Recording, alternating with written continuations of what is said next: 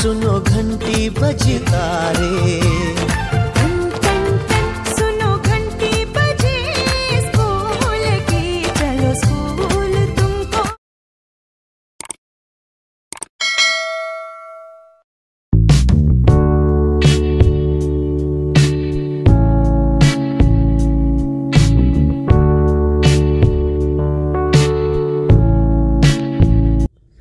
नमस्कार मित्रों, आप सभी का स्वागत है हमारे YouTube channel Yogiraj Yogi official पर। आज हम देखेंगे इंग्लिश मीडियम स्टैंडर्ड सिक्स का जो यूनिट टेस्ट का पेपर है वो periodic assessment test mathematics subject है। जीसीआरटी गुजरात द्वारा जो यूनिट टेस्ट का पेपर है तो आज हम उसका अभ्यास करेंगे। हम पेपर देखेंगे, उसके आंसर है आप सभी को, आपकी जो नोटबुक है उसमें लिखने हैं। दिसंबर 2020 total mark 25 time one hour है। वन आवर में आप सभी को क्वेश्चन के आंसर है आपकी नोटबुक में, लिख लेने हैं।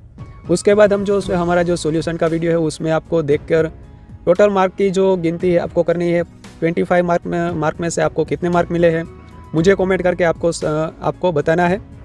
तो चलिए क्वेश्चन वन हम देखते हैं डू अस डायरेक्टेड जिसमें first question write in decimal from 700 plus twenty plus nine by one hundred उसके बाद write in words 11.08 third question write the number in place uh, value table 18.65 fourth number पे हम देखते हैं write as fraction is lower terms 0.25 question two हम देखते हैं mark suitable greater than or less than sign for smaller or greater number तो इसमें हम फ़र्स्ट देखेंगे 0.5 ब्लैंक 0.6 सेकंड नंबर पे फोर ब्लैंक 0.9 थर्ड पे 0.4 blank 0.04 fourth question 1.531 blank 1.590 five hundred thirty one blank one point five hundred ninety five number पे देखेंगे 6.64 blank 6.603 question three हम देखते हैं convert into decimal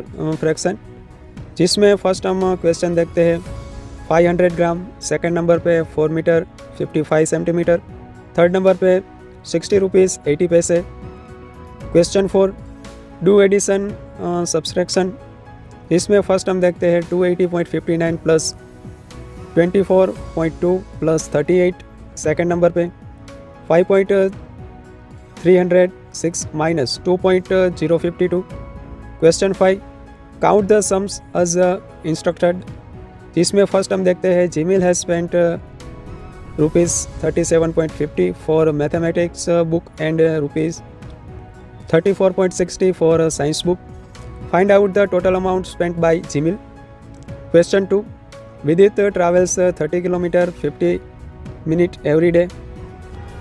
Out of this he travels 10 km uh, travels 10 km 300 meter by rickshaw and the rest by bus.